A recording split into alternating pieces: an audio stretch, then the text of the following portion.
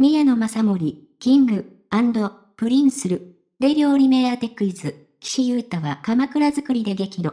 ご視聴ありがとうございました。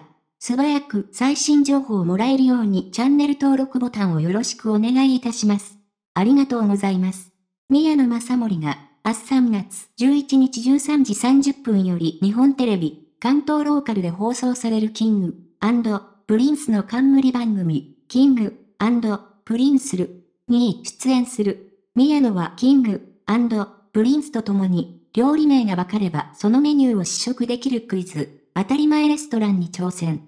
予約の取れない有名店のパスタや、ハワイ発祥の肉料理、洋菓子店の看板メニューから問題が出題される。メンバーが人生で一度はやってみたいことにチャレンジする。男のロマンシリーズでは高橋海人の鎌倉を作ってみたいという夢を叶えるべく、平野紫耀、岸優太の3人で雪山へ。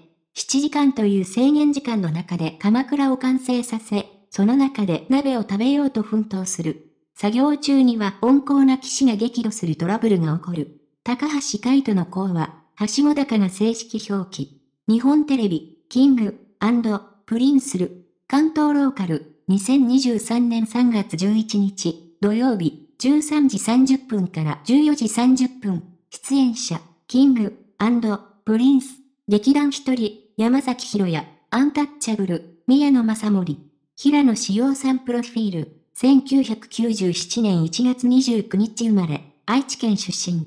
圧倒的なセンスのダンススキルや歌声を持つ一方、チャーミングな発言とのギャップで多くのファンを魅了する。ご視聴ありがとうございました。これからも一緒に応援していきましょうね。チャンネル登録をよろしくお願いいたします。